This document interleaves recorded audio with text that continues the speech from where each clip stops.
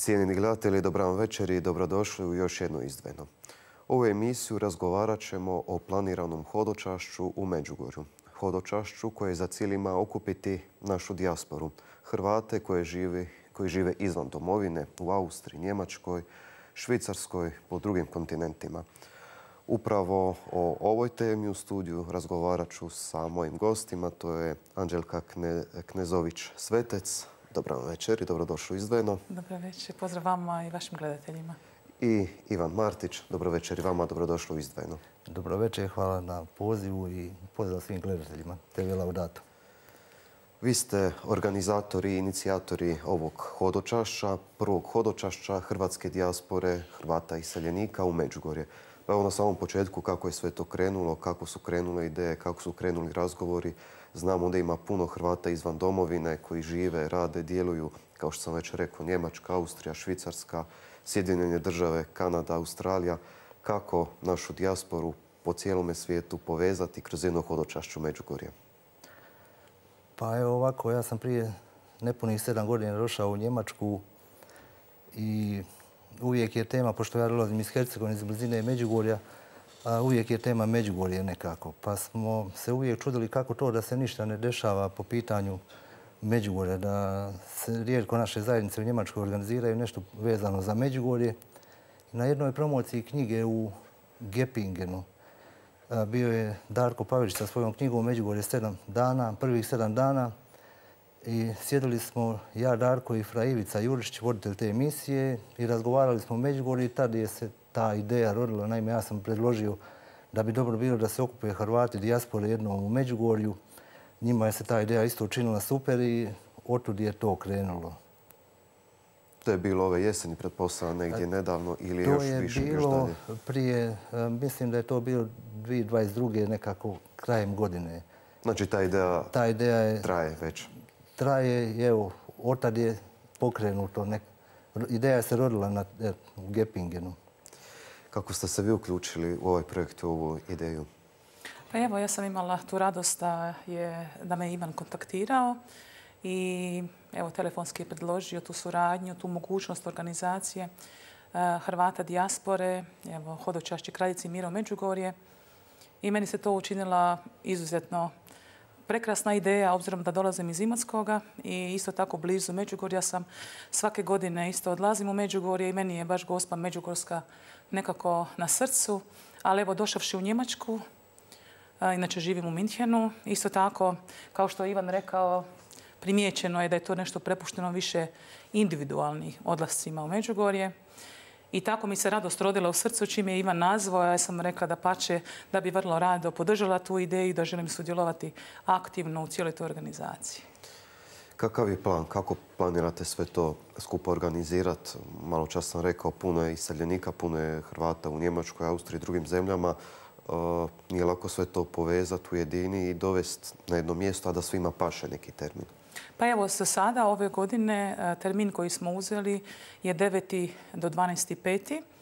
I taj termin za sada nam u biti paši, a te organizacijske stvarnosti smo u biti već, ajmo reći, priveli kraju. E, svi ti razgovori koji su trebali biti uvod u ovo hodočašće su odrađeni i u biti autobusi su organizirani, popunjeni su i spremamo se evo stvarno otvornog srca krenuti ovo, za Međugorje i evo radujemo se tom trenutku zato što je većina toga odrađena već.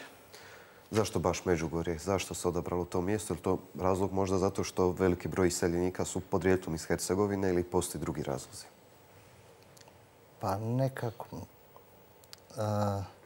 kad čovjek ode iz domovine, traži nekakav oslonac u nečem. Ja sam, kad sam došao u Njemačku, taj oslonac tražio u Mariji. Uvijek sam molio krunicu, uvijek sam bio privržen Mariji, ali kad sam došao u Njemačku, to je se samo pojačalo. Tako da moje osobno mišljenje da mi nemamo jačeg oslonca od Marije i da Međugorje vjerojatno bi moglo biti naš duhovni centar, mjesto koje će nas okupljati i ponovo povezati sve skupa. Povezati Jer cilj ovog hodočašća je na neki način povezati Hrvate, dovesti za jedan stol. Tu ima još već neki prijedloga, inicijativa kako da mi djelujemo, kako mi možemo se bolje povezati sa domovinom. Jer jednostavno mi smo tamo prepušteni sami sebi. U razgovoru prije emisije spomenuli ste kako, iako sami ste rodom iz Hercegovine i brojni Hrvati u Hrvatskoj idu na hodočašću Međugorje, dovoljno poznajemo kraljicu mira, odnosno poruke koje e, se dobivaju. Pa naime, ja kad sam došao u Njemačku imao sam više slobodnog vremena i onda sam počeo malo više pratiti na YouTube-u emisije o Međugorju svjedočanstva i tako ostao sam sam iznenađen koliko ja malo Međugorje poznam i sve šta je se tamo izdešavalo, koliko smo malo upućeni u poruke, koliko ne slušamo poruke koje dobivamo u Međugorju. Naime, u jednom od svjedočanstava sam čuo da je važna djevica Marija videocima najavila 85. godine da ćemo mi Hrvati imati svoju domovinu. A evo ja se ovdje pitam, jesmo mi kad kao Hrvati odšli i zahvalili se na dobivenoj slobodi, dobivenoj zemlji. Naime, mi imamo prekrasnu zemlju iz koje vjerojatno da su bolje stvari posložene ne bi trebali nigdje ići. Vaše iskustvo spomenuli ste, idete često u Međugorje i sigurno puno znači blizina Majke Božije. Pa naravno, evo ja samo Međugorje ne bi stavila na razinu toga da je bitno samo za Bosnu i Hercegovinu i Hrvatsku. Ukazanje Majke Božije u Međugorju je bitna za cijeli svijet, jer njezina poruka je uistinu za cijeli svijet, a govori o miru. Majka Božja uvijek poziva na molitvu, na post, na Euharistiju, na žrtvu. Tako da s te strane, evo, Međugorje uistinu u srcu i svi mi koji živimo malo bliže dolje je, osim što odlazimo na more, volimo ovoga a gdje može biti ljepše nego kod majke? Majka je ona koja vodi k Isusu, majka je ona koja brine za nas i evo kažem bez obzira što smo mi otišli iz domovine, jednostavno ona je uvijek s nama i evo i moljenje e, Svete Korunice je duboko ukorijenjeno u našim obiteljima i bez obzira što živimo vani, evo Ivan isto tako ima jedno prekrasno svjedočanstvo u svojoj obitelji da mi bez Majke Božje ne možemo i da jednostavno e, svaku večer ulazimo u njezinu prisutnost i Majka je ta koja nas vodi Isusu baš kroz molitvu Svete Krunice. Na ekranu vidimo i plakat, to je najava hodočaša, dakle zajedničko hodočašće Hrvata izvan domovine od 9. do 11. svibnja u Međugorje. Kakav je program? Što sudionici mogu očekivati? Evo, ne znam tko želi odgovoriti od vas, ko bolje može to reći. Evo, može to Anđelka malo bolje Evo, recite vi. Pa evo, dosta smo bili razgovarali oko tog programa i radujemo se u biti da imamo što ponuditi našim Hrvatima koji će e, biti sudionici ovog hodočašća. Znači, dolazak je predviđen 9.5. Uključeni ćemo biti isto tako događanje u samoj župi. Također u petak imamo na programu da ćemo imati, bit će nam gost Daniel Čović. U subotu je namijenjeno, program će biti u potpunosti nekako oblikovan kroz prisustvo naših svećenika, njihove kateheze, ali ono isto što nam je jako bitno i to mene jako raduje, da ćemo imati osobnu posvetu Mariji. Sa nama će biti velečasni Mihovil Filipović, Montfontanac. Evo, vjerujem da je i vama ovdje poznat dosta. Nama je bio nedavno u Minhenu. Ja se uistinu radujem jer majka nas je cijelo vrijeme Božja vodila nekako do te posvete i kroz tu posvetu nas je evo sad nekako usmjerila prema Međugorju i to nam je evo baš nekako radost da možemo imati taj individualan odnos i tu posvetu da budemo baš Marijini. I evo, što se tiče samog e, povratka nazad, također je nedjelja uključena, e, sve te mise. Međutim, evo, mi koji smo malo dalje, Stuttgart, Ulm ili Minhen, mi ćemo se vraćati e, nazad na večer dan ranije. Ali uglavnom što se tiče programa, znači imamo odlazak na brdo ukazanja, imamo odlazak na križevac, put križa, molitve, bit ćemo isto tako, kažem, na svetim misama i to nas uistinu raduje da ćemo obići kompletno, evo, što inače hodočasnici dolaskom u Međugorje e, mogu obići i ispuniti se ono što, što je bit Međugorja, to je mir, mirom. Međugorje ima što što za ponuditi svojim hodočasnicima, puno sadržaja, tako da sigurno će biti program ispunjen. Naravno, naravno. Evo neke stvari koje smo bili planirali da bi stavili u program, jednostavno smo morali malo staviti po strani, jer uistinu Međugorje pruža izuzetno bogati program i zbog toga, evo, baš smo morali paziti, obzirom da nas ima poveliki broj, kad imate jednu situaciju da morate 400 ljudi povesti na Križevac ili na Podbrdo ili to je onako malo poveći broj, tako da smo neke stvari isključili, ali ona bit koja je srž, koju bi svaki hodočasnik trebao doživjeti dolaskom u Međugorje u biti ostala.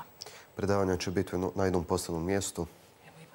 Ako vi Predavanja će biti u Durani Majke Krispine. Tamo smo dobili, oni su bili slobodni za taj termin pa smo uzeli tu Duranu koja može primiti 400 do 500 ljudi. A ove godine se ne opterećujemo brojem ljudi, bitno nam je da je to pokrenuto. I ovo je, kako je Anđelka malo prije rekla, pilot projekta, da vidimo kako će to funkcionirati.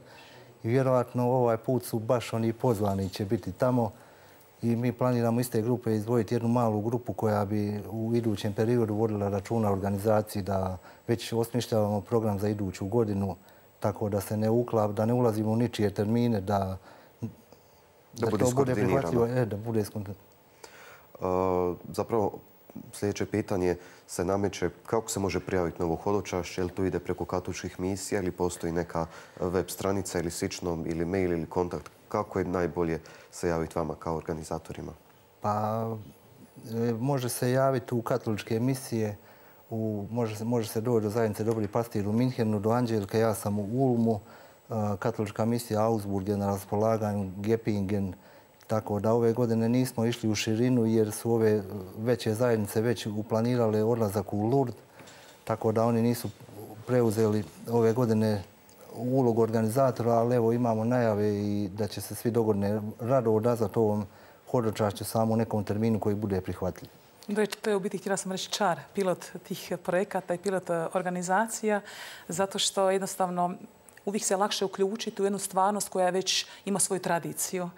Mi imamo sad, ajmo reći, tu slobodu i tu radost da možemo krenuti sa tim prvim hodočašćem Hrvata iz dijaspore. Isto tako smo napravili jedan plakat koji se odnosi konkretno na program organizacije i samog hodočašća, a napravili smo i stavili smo koordinatore za svaki grad koji je uključen, koji sakuplja ljude za buseve. Znači imamo određene osobe koje su ostavile svoj broj telefona i na tom plakatu se može uistinu vidjeti broj telefona za određeni grad i ljudi se na te brojeve telefona mogu prijaviti, na primjer Stuttgart, Ulm, Stuttgart, Ulm, Safen. I stvarno imaju svi brojevi telefona, tako da svi koji imate na srcu da, se, da želite sudjelovati uistinu u ovom prvom hodočašću Hrvatske dijaspore Kraljici Mira u Međugorje, slobodno se možete evo, pogledati taj plakat i prijaviti se na te brojeve. I ova emisija je u službi toga da naši gledatelji koji su izvan domovine mogu se informirati, a samim tim im prijaviti na ovo I to nam je stvarno radost. Mi se uistinu zahvaljujemo Laudato televiziji e, što nam je evo, omogućila tu priliku. Jer kažem, kad je nešto tradicionalno, onda je najlakše se onako uskočiti u vlak. Neko vozi pa ćemo mi to ući. Međutim, stvar je u tome da na ovakve stvarnosti koje se tek pokreću je izuzetno lijepo i hvala vam još jedan put e, što imate interesa i što vam je u biti drago da nas možete podržati i mi smo stvarno s time počašeni. Hvala vam lijepo. Kakve su molitvene nakane ovog hodočašća? Koje će biti glavne molitve upućene Majci Božjoj da, zagovara potrebe iseljeništva? Eto, pa, pa riječi o tome. Svima nam je nekako na srcu da bolje povezivanje Hrvata iz dijaspore sa domovinom, da molimo za naše duhovno vodstvo, za naše svjetovno vodstvo, za naše mlade, da i Majka Nebeska čuva, da ne odlutaju. Velika je opasnost i veliki su izazovi života vani. Puno se toga nudi, e, jednostavno ljudi se u toj masi izgube, izgube identitet, izgube e, svoju povezanost sa domovinom, tako evo da nadamo se da će ovo nešto biti što će biti privlačno sutra mladima, mlade uključivati u organizaciju ovog hodočašća, tako kad to krene mi stariji polako da se povučemo, da mladi to preuzmu svoje ruke i da to vode. I da postane sve tradicionalno. Pa da, ali evo prekrasno je biti mlade uključivati. Evo mi imamo sreću da u našem autobusu ima jako puno mladih i općenito što se tiče duhovnog rasta i razvoja same župe, bez obzira što smo mi vani, na primjer u Njemačkoj, Austriji ili u bilo kojoj drugoj državi, uh, uvijek se govori, imamo onu tradicionalnu rečenicu, uh, na mladima svijest ostaje i taj svijet uistinu na mladima ostaje. Mi smo primijetili, na primjer, evo vani, ljudi koji su došli evo, trbuhom za kruhom iz ekonomskih e, poteškoća i razloga, izrodili su svoju dječicu gore, međutim, djeca su obzirom na taj duh svijeta koji ih je obuzeo i puno toga što vam se nudi na, na, na pladnju. Mladi su otišli drugim stazama, ne dolaze često na sve te mise, tako da ponekad možete vidjeti puno starijeg svijeta na misama, na sve te misama ili oni mladi koji dolaze, dolaze tradicionalno jer eto navikli su sa svojim roditeljima dolaziti na mise. Nama je uistinu u, u srcu, u interesu da ti mladi ljudi koji dođu sada u Međugorje, da oni dožive prisutnost živoga Boga. Nama je bit u biti i samo kršćanstva imati osoban odnos sa gospodinom i isto tako bliže doći k njemu. I samim time ja se radujem uistinu i nadam se da će i u budućnosti, a i na ovom hodočašću biti jako puno mladih prisutnih. Kako plodove očekujete hodočašća? To je sigurno možda i dobra prilika za povezivanje, mrežavanje domovinske i iseljenske Hrvatske. Pa evo, na neki način da posvjedočim da već ima nekakvih plodova. Naime, jedna naša Hrvatica koja organizira hodošašće za Fridlji Safen i Ravensburg svjedočila mi je neku veče vraćajući se sa jednog molitvenog susreta da jedna mlada djevojka izišla pred nju pred njen automobil i da ona sama ne zna kako je se zaustavila i kako je se ta djevojka stvorila u njenom automobilu. I ta mlada Njemica je molila za pomoć, naime pokušala je se predozirati, oduzeti sebi život. I nije znala šta da čini sa sobom i zamolila je nju da je odvede do liječnika. I onda je Melani, ova naša Melani ponudila, pitala je li ti poznaš Isusa Krista. Ona je rekla ja poznam, ali on mene ne voli. Ili bi li ti da ja tebi pomogne? Sve ću prihvatiti samo da se spasim iz ove situacije. I evo Melani sad radi na tom da tu mladu djevojku povede s nama i da je smjesti uće na kolo. Ja vjerujem da je to već jedan plod ovog hodočašća. A vjerojatno takvih svjedočanstva u budućnosti će biti više. I to je smisao toga da se stavimo pod zaštitu Majke Nebeske i tad u životu, unatoč svim problemima, križevima i patnjama je lakše e, prolaziti kroz život. Naravno, naravno. Koliko je važno općenito za našu dijasporu da se druži, da se upoznaje? Vi ste u Njemačkoj jedno i drugo, postoji katoličke misije, crkve, mjesta gdje se nalaze Hrvati, postoju i civilno društvo, to jest udruge gdje mladi mogu, a i ne samo mladi, nego svi drugi, upoznavati se, družiti i tako dalje. Vjerovatno takvu svrhu ima i ovo hodočašće. Pa naravno, evo što se tiče, evo ja sam i malo prije rekla za mlade koliko je u biti izuzetno bitno da se njih pomalo uvodi i da oni u biti postanu inicijatori. Isto tako ovakve priče, možda nekakvih u budućnosti sličnih događaja. E, naravno, evo, ja dolazim iz e, Minhena gdje je uistinu izuzetno e, aktivna Hrvatska katolička zajednica gdje imamo i folklor i druženja i tamborice, sviranja, zborove. Puno tih stvarnosti gdje je uistinu cilj i našim svećenika koji djeluju vani okupiti Hrvate, da se ne izgubi niti ta govorna komunikacija, govorne te stvarnosti. Evo, na primjer, moja djeca su gore pet i pol godina i već vidim da hrvatski jako teško čitaju već vidim da u izražavanju je u potpunosti postoji jedna težina da im je lakše na njemački pričati, pa čak i u obiteljima već pomalo nekako pokušavaju eh, uvesti taj njemački jezik gdje mi kao roditelji eh, uvijek napominjemo da je, mi smo hrvatska obitelj i da pričamo o obitelji hrvatski, a na radnom mjestu i u školi da naravno da koriste njemački jezik i to je bit u biti hrvatskih zajednica. Da li su to civilne udruge, da li su to e, udruge unutar crkve, da u biti okupljaju mlade ljude, da s njima radi ili općenito ljude da izgube tu komunikaciju i odnos sa domovinom i sa svojim jezikom. Rekli ste u razgovoru prije emisije, vaš sin je lan imao krizmu. Bilo je 250, oko 250 Hrvata krizmanika. Je, to je u biti onako e, malo e, kako bi rekla, da čovjek ustukne da vidi koliko nas Hrvata u biti vani ima osobito, kažem, u biskupi Minhen i Freising. Osobno meni, mislim, srce mi je bilo stvarno jako veliko i radosna sam bila zato što se radi o mom sinu.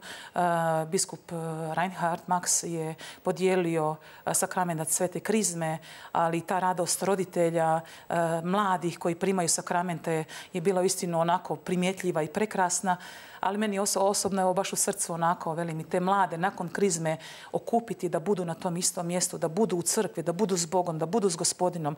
Novac je normalno, vi kad radite dobivate plaću i morate biti nagrađeni za svoj e, rad. Međutim, evo, naši mladi u istinu e, nakon krizme, ali mislim da je to i u Hrvatskoj vrlo, vrlo prisutno da odlaze iz crkve.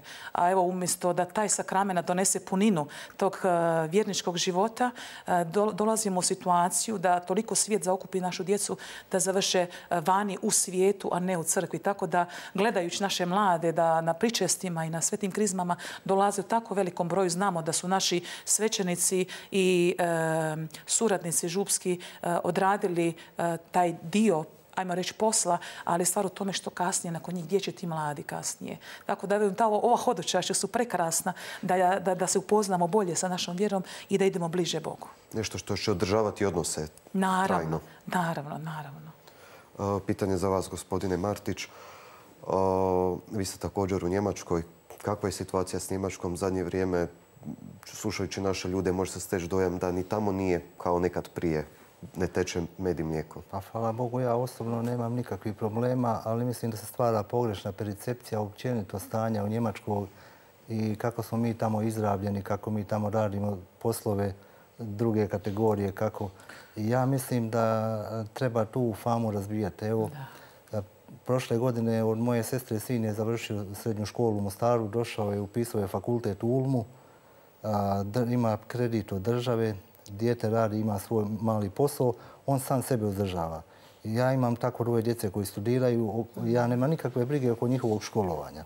Oni sami sebe uzdržavaju. Ja bih čak poručio da je ovo jedna dobra šansa naši mladi ljudi da steknu dobro obrazovanje i dobru praksu, da dođu u Njemačku. Ja bih čak pozvao da se dođu obrazovati u jedan drugi sistem, u jedno drugo okruženje i će puno toga pozitivnog naučiti. I onda da se vrati u domovinu sa svojim znanjem i Evo ja bih se tako potvrdila ovu činjenicu Ivanovo. Mislim da su ona prijašnja vremena. Ja sam dijete isto oca koji je radio u Njemačkoj. Majka nas je odgajala petero djece sama. Tako da su prošla ta vremena kada su naši ljudi bili neobrazovani. Kada smo mi bili nekakva snaga na bauštelama i čistačice po uredima.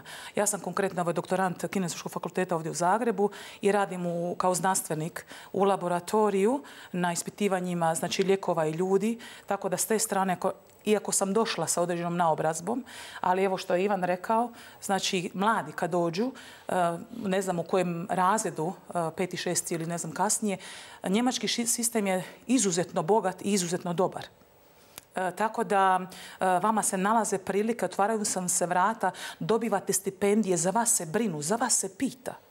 Razumijete? Vas se usmjerava, gledaju se vaše kvalitete tako da su prošla u istinu vremena. Mi jedino što imamo problem u Njemačkoj, što sam, evo, obzirom da ja komuniciram izuzetno puno sa ljudima, u istinu svakodnevno, da je najveći problem jezična barijera i zato ljudi koji uistinu imaju visoke diplome i dobro da su završili fakultete, u Hrvatskoj imaju poteškoću dok ne nauče jezik, jer sa jezikom nisu došli.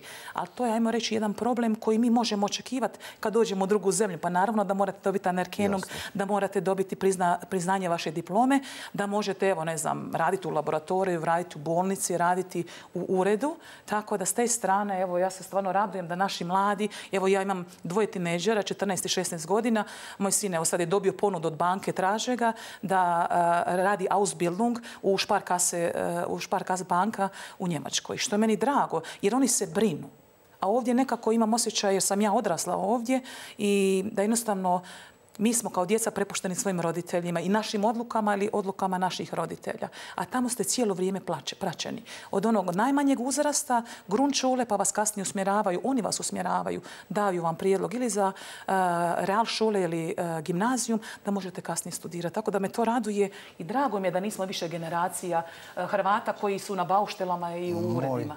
Moj sin je sad bio šest mjeseci na praksi u Brazilu u najvećoj ljevaonici čelika na svijetu, jednoj od najvećih ljevaonica čelika na svijetu.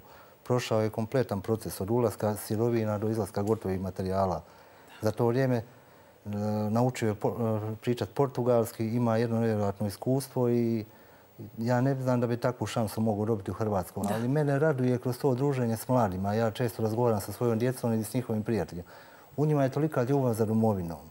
I mislim da o tome treba voditi puno računa u domovini kakav potencijal mi imamo vani i kakav taj potencijal sutra uklopiti u, Hrvatsku. ili najbolju moguću suradnju sa Hrvatskom. Recimo, kod židova postoji jedna izreka, kaže, bolje je jedan dobar židov u New Yorku nego sto u Izraelu. Evo, tako i mi. Mi jednostavno moramo odgajati nove generacije koje će nas kvalitetno prezentirati vani i koji će donositi nova znanja i nova poznanstva i nova iskustva u Hrvatsku. Znači, vaša neka preporuka je nije kraj svijeta ako se otiđe vani u inozemstvo školovat, čak i radit, ali uvijek znat ko si i što si. Eto, ako sad mogu ukratko pa, rezimirati ono što ste rekli. Evo, ja mogu reći osobno da ja nisam, ja, ja jesam otišao fizički iz Hrvatske i Hercegovine, ali ja sam prisutan tu i ja dolazim i ja ću se sigurno vratiti. I takav je stav i moje obitelji, moje djece i velike većine ljudi.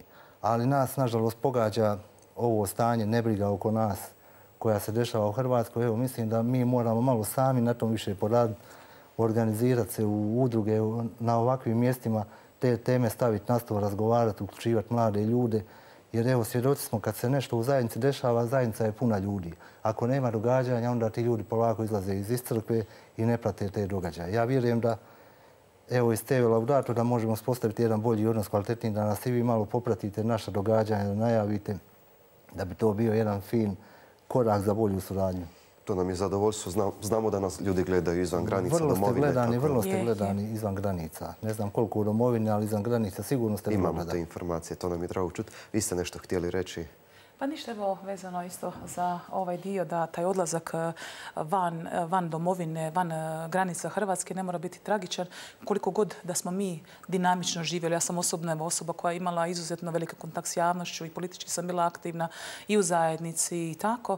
Imala sam i svoju polikliniku 15 godina i naravno da kad dođe do situacije kad čovjek vagne sve i vidi da jednostavno nekakve bolje perspektive mogu se događati negdje vani, onda jednostavno to ne treba biti tragično. I ne vjerujem da većina ljudi kada, evo i danas, kada se vraćamo domovinu, a ja često dolazim u Hrvatsku, da e, ne gledamo s tragedijom, nama je radost jer novac koji gore zaradimo, e, potrošimo istinu u Hrvatsku. Naši ljudi su skloni da se osiguraju materijalno, da naprave kuću, da kupe auto, da naprave i odrade e, okućnicu ili tako nešto. Ali stvar u tome da smo, nama fali domovina, to je istina. Taj način komunikacije, ta sloboda, Njemci su jako ukočeni. Meni osobno, mom mentalitetu teško pašu. Nekako mi je, evo, malo Naravno da se čovjek mora prilagoditi. Mi smo došli u njihovu domovinu, a ne oni u našu. Tako da, ali nije to ništa tragično. Ljudi, e, ako je uistinu su samo zbog novca otišli e, van granica Hrvatske, bez obzira kako se zvala ta država, e, vjerujem da će se ipak vratiti nazad nakon nekoliko godina. Ja sam osobno svjedok. Evo sad jedna moja kolegica je prije mjesec dana se vratila nazad u Hrvatsku. Inače je bila liječnica u Minhenu, što je meni bilo iznenađenje. Zanimljivo. Pa izuzetno, ja sam se u biti iznenadila ili dolazila, bila je vrlo aktivna, dolazila je našu župu na klanjanje. Ja sam je poklonila njemačku Bibliju i ona mi je samo došla taj dan e, nakon klanjanja, jer imamo svetu misu i klanjanje koje animiramo mi Hrvati. I ovoga došla mi i donijela Bibliju. Ja gledam u nju, kažem ja nju, ali to je bio poklon za tebe. Ne trebaš mi ništa vraćati. Kaže ona, više mi ne treba njemačka Biblija. Kažem, kako misliš da ti ne treba? Onda mi je rekla, vraćam se za Hrvatsku. Liječnica, prekrasna mlada žena sa svoje dvoje djece. To je jako lijepo svjedočanstvo. Zapravo osjećate li vi da postoji trend povratka, povratka u Hrvatsku? Pa ja pretpostavljam i vjerujem zato što, evo, obzirom da komuniciram sa puno ljudi i aktivni smo i u Hrvatskoj katoličkoj misiji, da vidim da ljudi stalno nagovještaju ili evo, u razgovoru govore da bi imaju želju se vratiti, a neki evo, mjesec, dva prije nego što odlaze se s nama dođu i oprostiti, pozdraviti, što je evo u istinu lijepo. Jer domovina je domovina. Jel? Upravo tako. Evo na samom kraju e, isteklo je naše vrijeme. Uputite jedan poziv i za jednog gosta i za drugog svima onima koji nas gledaju za sudjelovanje na hodočašću Međugorju u svibnju ove godine. Svi su dobrodošli, nadamo se da će biti odziva i evo svi oni koji žele stupiti u kontakt sa mnom ili s Anđelkom, mi ćemo ostaviti svoje broje telefona evo i kod vas ovdje na TV Laudatu, tako da se mogu pozvati da dođu do nekih kontakta. Ja bih s ovim putem želio zahvaliti svima onima koji su dosta pomogli u organizaciji ovog hodočašća. Na prvom mjestu Framariju koji je nesebično se stavio na raspolaganje sa svojim kontaktima ili lobiranje dao nam je prostor na svojoj emisiji na Radio Mir Međugorje. Pater Marti Aniću koji je u organizaciji, koji je duhovnik ovoga projekta, Dariju Vasilju koji na Radio Mariji isto radi u Međugorju i svim drugima, evo, da sad ne nabrajam. I pozvao bi još ljude da se uključuju u ovu organizaciju, da dođu sa svojim idejama, svojim, svojom energijom, da ovo dignemo na jedan malo veći nivo, da to uistinu bude možda broj jedan događaj u Međugorje. Potencijala ima, samo treba dobro osmisliti To je također važno da se drugi uključe. Poruka vaša na kraju za gledatelje. Pa evo ja isto pozivam sve Hrvate, iseljene Hrvate van domovine, bez obzira gdje se nalaze, obzirom da se radi o pilot projektu, da nam se u budućnosti evo, jave. Mi ćemo se sigurno možda i javiti ponovo nakon ovog hodočašća sa našim dojmovima, da jednostavno evo, u budućnosti možemo računati na njih, ako nisu među ove tri zemlje od kuda sada organiziramo autobuse, ali radujemo se i evo dobrodošli svi koji se želite priključiti i radosno je uistinu evo vam ponuditi ovako jedno prekrasno hodočašće e, našoj majici Nebeskoj kraljici Mira u Međugorje. Sredina petog mjeseca bit će sigurno lijepo vrijeme, gospin mjesec, priroda, proljeće, pa svi preduvjeti su tu. Je. Peti mjesec je u Hercegovini posebno čaroban, tako da evo, jedan od dodatnih razloga za dolazak u Hercegovinu. Hvala na gostovanju emisiji. Želim vam puno uspjeha i blagoslov u organizaciji hodočašća. Hvala i vama. Hvala i vama još jednom. Cijenjeni gledatelji, ovo je bila još jedna emisija Izveno. Sada slijedi pregled dana. Do idućeg susreta. Srdačan pozdrav.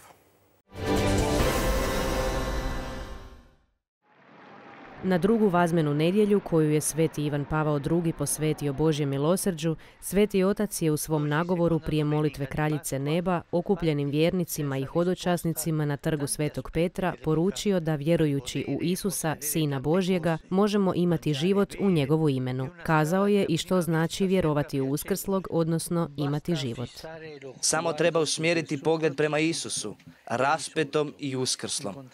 Susresti ga u sakramentima i molitvi, prepoznati njegovu prisutnost, vjerovati u njega, dopustiti da nas dotakne njegova milost i da se vodimo njegovim primjerom, iskusiti radost u ljubljenju, kao što je on to učinio. Svaki živi susret s Isusom omogućuje nam da imamo više života tražiti Isusa, dopustiti da nas On susretne, jer On nas traži, otvoriti srce njegovom susretu.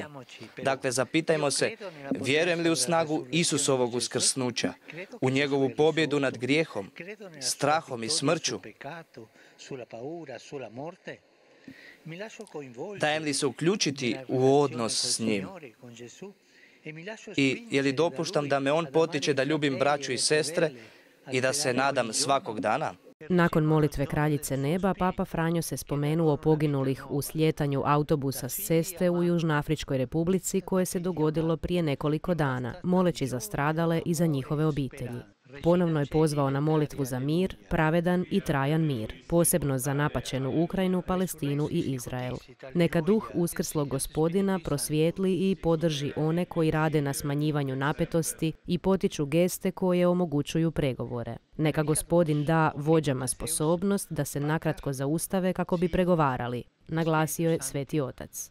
Spomenuo se i Međunarodnog dana sporta za razvoj i mir koji je obilježen dan ranije. Ukazao je na važnost bavljenja sportom i koliko se kroz njega uči otvorenom, solidarnom društvu bez predrasuda. Promičimo sport koji potiče socijalno prijateljstvo i bratstvo, pozvao je Papa Franjo.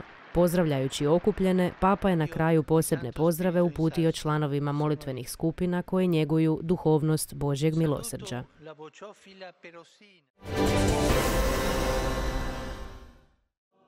Obilježena je 50. obljetnica postojanja i djelovanja Hrvatskog mariološkog instituta, koji djeluje u sklopu Katoličkog bogoslovnog fakulteta sveučilišta u Zagrebu. Euharistijsko slavlje u crkvi Svetog Martina predslavio je veliki kancelar KBF-a Zagrebački nadbiskup Dražen Kutleša, uz koncelebraciju sisačkog biskupa Vlade Košića, dekana KBF-a Josipa Šimunovića i predstojnika instituta Fra Ivana Karlića. Govoreći o blagovijesti, Monsignor Kutleša je kazao kako se ovom svetkovinom otkriva Boži plan za ljude i karakter njegova srca. Bog voli one koji su ponizni duhom.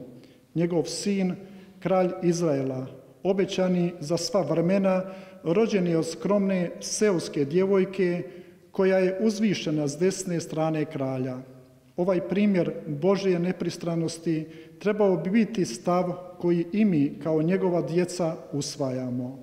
Bog pokazuje svoju veličinu surađujući sa svakom, sa svakim tko je spreman na to. Duhovna veličina nije pitanje društvene klase, bogatstva ili obrazovanja. To je pitanje srca. Razlog naše nade i radosti trebao bi proizlaziti iz Božije vjernosti svojim obećanjima. Poziv na radost u imperativu može se izreći samo s Božijim autoritetom. Nakon svete misu slijedio je svečani akademski čin, a to je bila prilika da se okupljeni prisjete svega onoga što se dogodilo kroz proteklih pola stoljeća. Tijekom svog polustoljetnog hoda institut je svojim znanstveno-istraživalačkim i stručnim radom o marijološkim i marijanskim temama okupljao i nastavlja okupljati domaća i strana ugledna imena iz područja teoloških i drugih srodnih disciplina. Postao je prepoznatljiv po organiziranju domaćih te aktivno sudjelovanju u međunarodnim mariološkim simpozijima i kongresima kao i po zbornicima i radovima koji su plod tih sudjelovanja i nadahnutih promišljanja njihovih autora. Sjećanje na Fra Karla Barlića, koji je bio prvi predsjednik i osnivač Papinske međunarodne Marijanske akademije, uvijek će ostati živo. 9. ožujka 1974. službeno je utemeljen.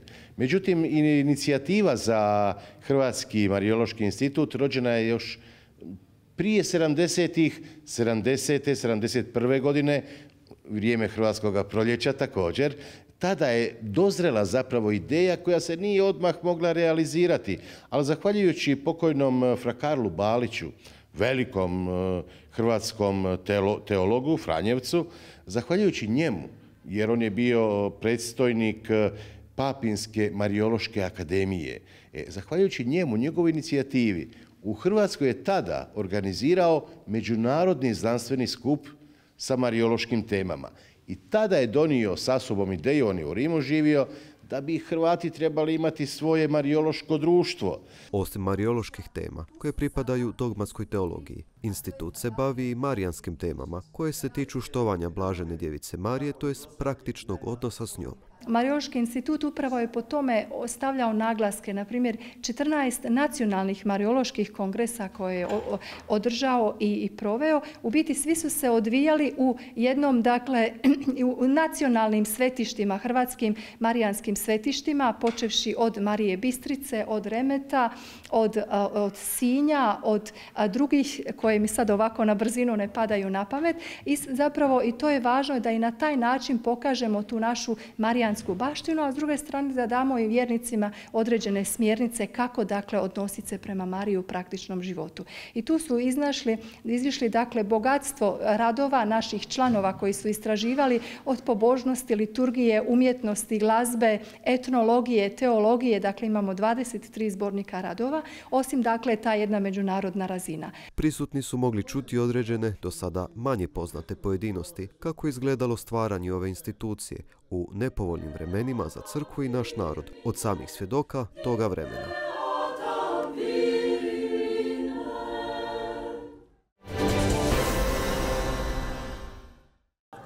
Nedjelja Božeg milosrđa proslavljena je u župi Marije Majke Crkve na Zagrebačkoj Trnovčici. Kao pripravu župljani su se predvođeni zajednicom milosrdnog Isusa okupljali svaki dan u 15 sati na devetnici Bože milosrđu i misi koju su predvodili svećenici gosti. Svečano misno slavlje je na svetkovinu Božeg milosrđa predslavio monsignor Marinko Miličević, svećenik Gospićko-Senjske biskupije. U propovjedi je usporedio Božje milosrđe sa sakramentom ispovjedi te Isusovim ranama iz kojih dolazi milosrđe na nas i daje nam mir, nadu i utjehu za obnovljeni život.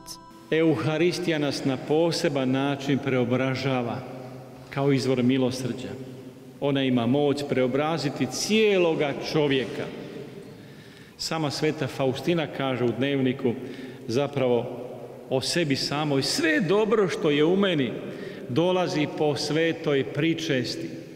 I koliko nam se treba i valja boriti da pristupamo sakramentu svete pričesti, Euharistije. Tu leži sva tajna moje svetosti. Samo me jedno drži, a to je sveta pričest. Iz nje crpim svoju snagu, u njoj je sva moja utjeha. Isus skriven u hosti meni je sve. Braćo i sestre, to tako treba biti i za nas u životu. I zato se borimo da budemo u stanju milosti, dakle ne pod robstvom teškoga griha, kako bismo mogli pristupati sakramentima posebne Euharistiji i obnavljati svoj život. I to je naš put posvećenja kojeg istina mi ne vidimo. Vidimo svoje slabosti, svoje grijehe, ali Bog zna što s nama čini. On nas posvećuje. On osmišljava naš život, osmišljava našu patnju. Propovjednik je istaknuo poniznost kao još jedan preduvjet za stjecanje Božje milosti. Milosrdna ljubav čini nas bogolikima i tome nas Isus uči. I kaže Isus, te duše koje štuju njegovo milosrđe svijetlit će u budućem životu posebnom svjetlošću. Nijedna od njih neće propasti u ognju paklenom, u času njihove smrti posebno ću se brinuti za svaku od njih. Koje veliko obećanje za sve nas i kako onda neštovati milosrđe Božje. Na vrhuncu svoga križa Isus ostavlja svoju majku koju nazivamo i kraljicom milosrđa. Isus čovječanstvu govori, evo ti majke. Majka Marija posreduje to Božje milosrđe da iz njezina i Isusova srca milosrđe dođe na sav svijet. I sveta Faustina je Mariju smatrala najpouzdanijim vodičem do srca Isusova jer je to srce njezina sina. Sve svoje brige povjeravala je njoj, kraljici milosrđa. To bismo i mi trebali činiti, zaključio je monsignor Miličević. Svetu misu pjevanjem je animirao župni zbor mladih, a molitvena zajednica Milosrdnog Isusa pod vodstvom profesorice Marijane Bijuk pomogla je u animaciji devetnice i misnog slavlja. Prisutne je pozdravio i domaći župnik pater Mirko Sadak, a slavlje se nastavilo na druženju uz domjenak u župnom dvorištu.